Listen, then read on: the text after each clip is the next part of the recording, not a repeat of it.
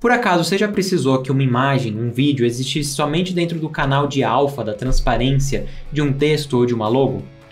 Bom, agora é possível fazer isso dentro do DaVinci Resolve a partir do update 17, diretamente na aba de edição, sem precisar ir até Fusion, utilizando truques muito simples de Blend Mode, que talvez você já até conheça porque é comum em outros softwares como After Effects. Vamos ver como é que a gente faz isso? Como a gente viu pela introdução, a gente vai ver como a gente pode utilizar o alpha, a transparência de uma imagem, um logo ou um texto, para efetivar um recorte num outro vídeo. Para isso, a gente precisa primeiro ter essa imagem com transparência. A gente poderia trazer aqui um PNG ou uma imagem feita no Photoshop, mas no caso vou fazer diretamente um texto dentro do DaVinci Resolve. Assim, se você ainda não sabe criar um texto, você vai aprender como é que faz agora. Bom, primeira coisa que eu preciso fazer é vir aqui em Effects Library, venho aqui na categoria de Titles e tem vários textos pré-definidos. Tem várias animações criadas pelo Fusion que você pode customizar aqui dentro da aba de edição e alguns outros textos básicos criados diretamente usando a engine do DaVinci Resolve. E é esse texto que a gente vai utilizar. Eu vou arrastar aqui para baixo e vou posicionar sobre o meu vídeo, cobrindo ele inteiro. Agora, aqui dentro de Inspector, a gente vai ter duas categorias para customizar.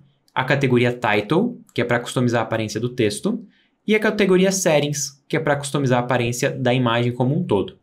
Então eu vim aqui em Title e eu vou substituir meu texto. Vou escolher aqui uma fonte também e um tamanho. Muito bem, na categoria Title a gente customiza a aparência do texto.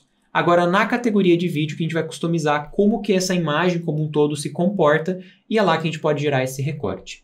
Para isso a gente vai vir aqui em Settings e a gente vai mudar o Composite Mode para Alpha. Basta abrir aqui a parte de Composite Modes, descer lá no final e procurar aqui por Alpha. Alpha quer dizer que ele vai utilizar o mesmo alfa desse texto.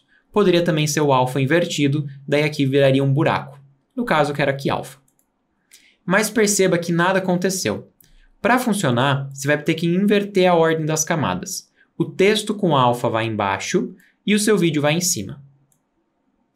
Nesse vídeo que vai em cima, você também vai ter que usar um modo de mistura. Você vai vir aqui em Composite Mode e vai mudar lá embaixo na lista para Foreground. E pronto. Esse vídeo vai existir por cima daquele outro alfa.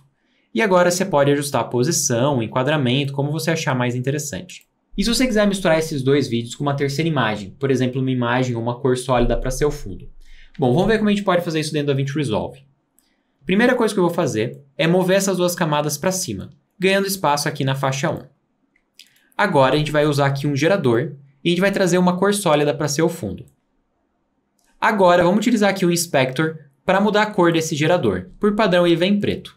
Vamos mudar aqui para uma cor tipo um roxinho do AV Makers. E pronto, ele já aparece ali embaixo recortado. Bem simples, né? A única coisa que você precisa é ganhar uma faixa de vídeo a mais para aplicar o seu vídeo.